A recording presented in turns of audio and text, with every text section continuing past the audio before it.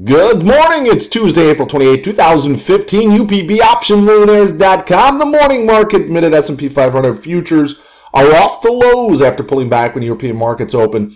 We are now rallying almost to even here. Look, yesterday to start the week, we had a strong rally out of the gate, but pulled back, closed at session lows. Apple earnings after the bell lifted the stock to new all-time record highs, up to 136.16. It's pulled back to 134, but looks for that 140 level, I think, is going to come. 140 billion dollars worth of stock being bought back by Apple. My goodness, 200 billion dollars being returned to its shareholders was not even a 200 billion dollar company back in 2010. Look at Twitter reporting earnings after the bell today, as is Wynn Resorts. Wynn Resorts really in no man's land here. It could go either way. I'm not sure if I'm going to position myself, but I do think it's going to be a strong move.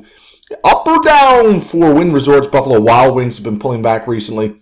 Also looking for a report could send it down significantly to support at 165. Let's look at GoPro, which is heavily shorted. You saw some of the heavily shorted names yesterday rallying right out of the gate. GoPro again, just kind of meandering along here, and I think it can go either way post earnings, but I think it's going to go higher, and I'll probably get some calls there. If you look, one more stock that's been rallying on a short squeeze. Travelzoo, look at Travelzoo starting to break out. Long-term trend line resistance now going to act as support. Look for continued upside for Travels Travelzoo. UPBOptionMillionaires.com. Everyone have a great trading day. It's going to be an exciting earnings afternoon. Goodbye.